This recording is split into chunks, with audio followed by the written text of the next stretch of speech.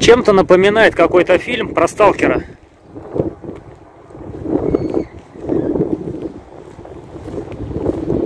Это между Выхиной и Жулебино.